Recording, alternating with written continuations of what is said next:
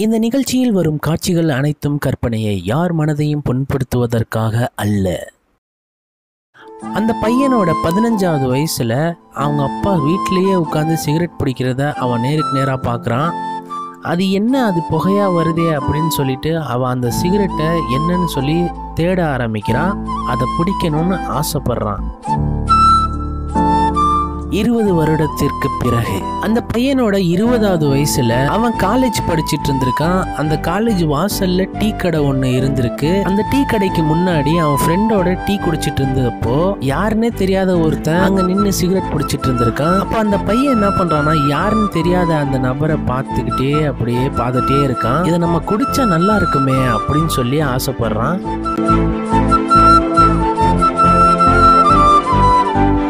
இருபத்தி ஐந்து வருடத்திற்கு பிறகு அந்த பையனோட இருபத்தஞ்சாவது வயசுல அந்த பையன் அவங்க வீட்டுல அவங்க அப்பா இல்லாத நேரத்துல வீட்டு பாத்ரூம்ல நின்று சிகரெட் பிடிக்க ஆரம்பிக்கிறான். சிகரெட் பழக்கத்துக்கு அந்த பையன் கொஞ்சம் கொஞ்சமா அடிக்ட் ஆக ஆரம்பிக்கிறான். இது அவங்க அப்பாவுக்கு தெரியாமலே இந்த மாதிரிலாம் பண்ணிக்கிட்டு வரான். யாருக்குமே தெரியாம நாம பண்ணணும் அப்படின்னு சொல்லி நினைக்கிறோம். ஆனா ஒரு கட்டத்துல எல்லாருக்குமே அந்த விஷயம் தெரிய வந்துடும் அந்த மாதிரி தான் அவங்க அப்பாவுக்கு அந்த பையன் சிகரெட் பிடிக்கிறது தெரிய வந்துச்சு. அது தெரிஞ்ச உடனேயுமே அவங்க அப்பா என்ன பண்ணாருன்னா அவனை அடிச்சு வெளுத்து வாங்கிட்டாரு.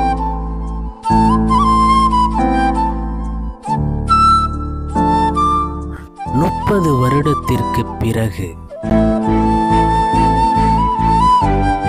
அவங்க அப்பா டெய்லி சிகரெட் பிடிச்சிட்டே இருந்ததுனால அவரோட உடல்நிலை சரியில்லாத காரணத்தால அவர் இறந்து போயிடுறாரு அதுக்கப்புறமா அந்த பையன் என்ன ஆகுறான்னா அவங்க அப்பாவை அடக்கம் பண்ணிட்டு அந்த பையன் அவங்க அப்பா இறந்த சோகத்தை தாங்க முடியாம சிகரெட் பிடிக்க ஆரம்பிக்கிறான். எந்த இடத்துல முதல் முறையா அவங்க அப்பா சிகரெட் பிடிக்க ஆரம்பிச்சாரோ அதே இடத்துல இந்த பையனும் சிகரெட் பிடிக்க ஆரம்பிக்கிறான்.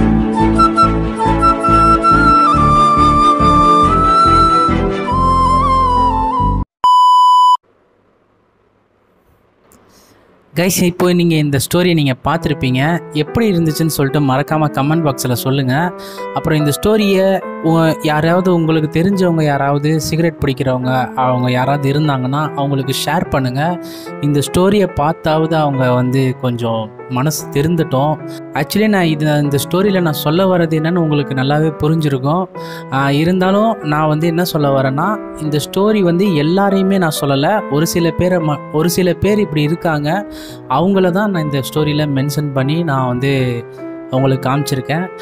இந்த ஸ்டோரியை நான் சுருக்கமாக ஒரே வரியில் சொல்லணும்னா ஃபஸ்ட்டு அவரோட மனைவி இறந்துட்டாங்க அப்படின்னு சொல்லி தான் அந்த சிகரெட்டே ஆரம்பிச்சிருப்பார் அவங்க அப்பா. கடைசியில் அவங்க அப்பா இறந்ததுக்கப்புறமா அந்த சிகரெட்டை அவங்க பையன் ஆரம்பித்து அது அப்படியே கண்டினியூ ஆகிட்டு இருக்கு இதுக்கப்புறமா அவனுக்கு ஒரு கல்யாணம் நடக்கும். அது அவனோட குழந்தைங்களும் இந்த மாதிரி வர்றதுக்கு சான்சஸ் நிறையா இருக்குது அப்படின்றத தான் இந்த ஸ்டோரியில் நான் சுருக்கமாக நான் இப்போ வந்து உங்களுக்கு எக்ஸ்பிளைன் பண்ணியிருக்கேன். ஸோ இந்த ஸ்டோரி வந்து ரொம்ப இம்பார்ட்டண்டான ஸ்டோரி உங்களுக்கு புரிஞ்சிருக்கும்னு நினைக்கிறேன். மறக்காமல் எல்லாருக்கும் ஷேர் பண்ணுங்கள் இந்த மாதிரி ஸ்டோரிஸ்லாம் உங்களுக்கு பண்ணுறது உங்களுக்கு பிடிச்சிருக்கா அப்படின்றதையும் கமெண்ட் செக்ஷனில் மறக்காமல் சொல்லிட்டு போங்க. அப்போ தான் எனக்கு தெரியும் நெக்ஸ்ட்டு ஸ்டோரி என்ன மாதிரி கிரியேட் பண்ணலாம் அப்படின்றத நான் ஐடியா பண்ண முடியும். ஸோ ஓகே கைஸ் நெக்ஸ்ட் வீடியோவில் மீட் பண்ணுறேன் இந்த வீடியோ பிடிச்சிருந்தா ஒரே ஒரு லைக் போடுங்க. அப்படியே நம்ம சேனலை சப்ஸ்கிரைப் பண்ணிவிட்டு பெல்லைக்கானை கிளிக் பண்ணி ஆளுன்னு செலக்ட் பண்ணுங்கள் அப்போ தான் நோட்டிஃபிகேஷன் வரும். இந்த மாதிரி ஸ்டோரிலாம் போட்டால் நீங்கள் பார்க்க முடியும். Okay guys bye